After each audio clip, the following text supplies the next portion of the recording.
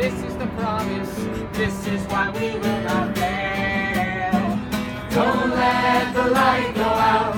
It's lasted for so many years. Don't let the light go out. Let it shine through our open arms.